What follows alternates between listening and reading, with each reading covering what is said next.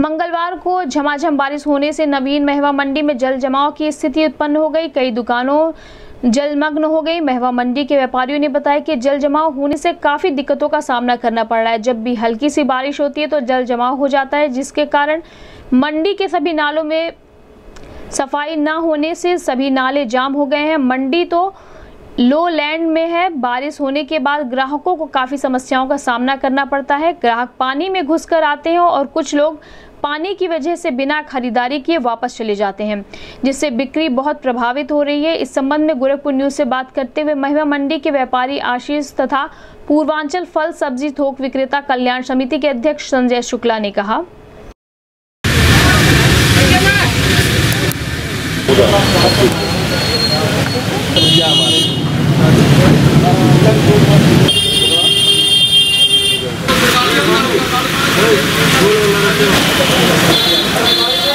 सही बात है? बाबा पानी में भीगे लगे तो खाना का भी भीग तो खाना का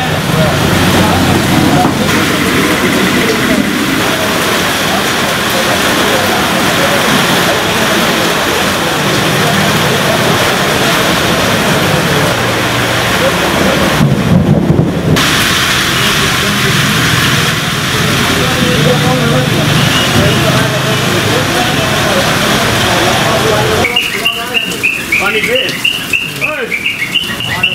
व्यापारी बोल दीजिए पानी वानी कैसे भरा आशीष कुमार। महवा मंडी में बारिश में जल जमाव की वजह कितनी समस्याओं का सामना करना पड़ता है? बहुत समस्याओं का सामना करना पड़ता है। देखिए थोड़ा सा पानी गिरा है जो है बारिश भीग गया है पूरा भर गया है ये। ये स्थिति कब से बनी हुई है?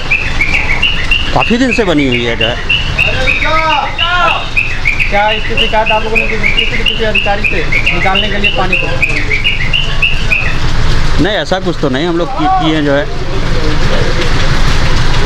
मंडी का साहब नहीं ऐसा मिले नहीं हूँ उनसे जो है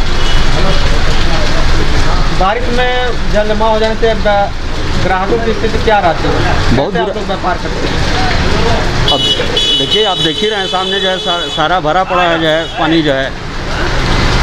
ग्राहक कैसे आते हैं पानी? कहाँ आ पाते हैं जो है? देखिए जब तक पानी भरा है तब तक ग्राहक अपना इधर उधर कहीं घूम टहल रहे हैं जब पानी ख़त्म हो जाएगा तब आएँगे जो है। संजय शुक्ला अध्यक्ष पूर्वांचल सब्ज़ी फल थोक विक्रेता कल्याण समिति महवा मंडी गोरखपुर।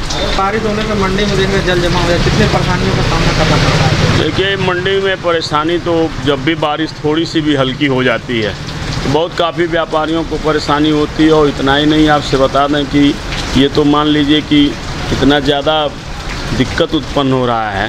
नाले सब अगल बगल के जितने भी हैं, वो सब बैठ गए हैं। मंडी हमारी बिल्कुल जो है, जो भी सीवर लाइन्स है, सब चौक कर गया है। व्यवस्थाएँ बनाते हैं, लेकिन व्यवस्थाएँ सफल हो नहीं पाती हैं। क्योंकि लोलैंड में मंडी है, और चारों तरफ़ से उधर कान्हा उपवन के बन जाने से उसका भी पानी जो है, क्योंकि कान्हा उपवन का लेवल ऊँचा हो गया, वो भी पानी जो है, इसी मंडी में आ रहा है। तो चारों तरफ़ से फिर हाईवे का भी पानी इसी मंडी परिसर में ही आकर के गिरता है।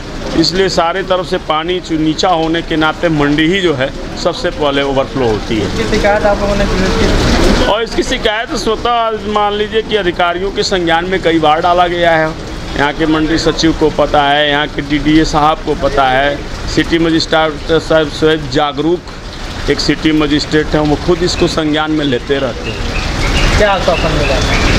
और बस श्वासन यही है कि अब निर्माण कार्य पे वो पूछा गया तो ये पता चलता है कि सड़कें ऊँची की जाएँगी कुछ काम चल भी रहे हैं और कुछ निर्माण कार्य चल रहे हैं। अब देखिए इसको कैसे करते हैं। कितने दिनों से जल जमाव की स्थिति ये जल जमाव की स्थिति तो आपसे बता दें कि आज विगत 10-12 सालों से है आज से ही नहीं है। 10-12 साल से पहले से है। पहली बार जब ये इसका पूरा 2000 में प्रस्ताव उस पर दिया था और उस समय राजनाथ सिंह जी जब मुख्यमंत्री थे तो उसी समय इसका निर्माण कार्य जो हुआ था, वो हुआ था। लेकिन दुर्भाग्य यह था कि वो बरसात के समय में ही निर्माण कार्य हुआ था, जिसके सीवर लाइन जो पानी निकालने की जो व्यवस्था थी, वो उसी समय डैमेज कर गई थी।